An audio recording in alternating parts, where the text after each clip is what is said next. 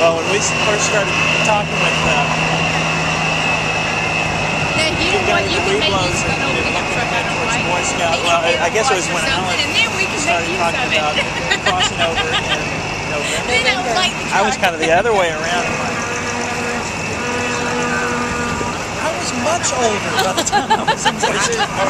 I know.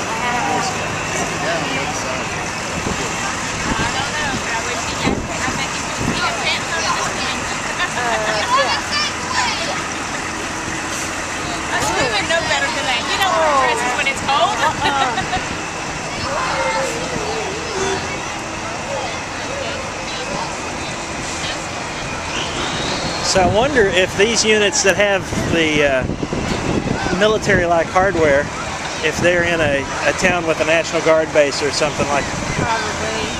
That one's groundhog right Yeah. there. Oh, was it? Yeah.